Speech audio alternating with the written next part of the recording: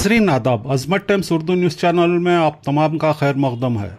मध्य प्रदेश के एक शख्स को भारत जोड़ो यात्रा का पोस्टर हरम शरीफ में दिखाने पर सऊदी हुकूमत की पुलिस ने गिरफ़्तार करके जेल में डाल दिया था। आठ माह तक जेल में बंद रखा गया। अम्बासी वालों से कोई मदद नहीं की गई। घर वालों की तमाम कोशिशों के बावजूद चार अक्टूबर को घर वापसी हुई है।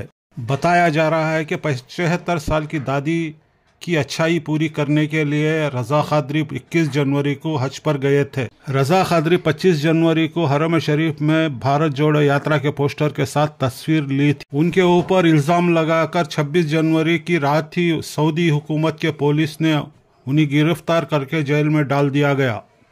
दो माह तक पूछताछ चली। रजा खादरी अपनी दादी के साथ दस तारीख को हिंदुस्तान आने वाले थे।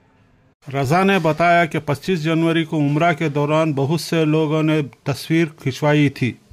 हरम में शरीफ में मई ने दो तस्वीर ली थी। पहली तस्वीर तरंगे के साथ, दूसरी तस्वीर कांग्रेस के भारत जोड़ो यात्रा पोस्टर के साथ। उस दिन तक सब ठीक था, लेकिन रजा ने 26 जनवरी को अपने ही फ़ोन से सोशल मीडिया पर पोस्ट कर दी। कांग्रेस के बड़े कायद ने इस तस्वीरों को देखा और शेयर किया। लेकिन रजा खादरी, तरंगा और भारत जोड़ो यात्रा का पोस्टर दिखाना महँगा पड़ गया।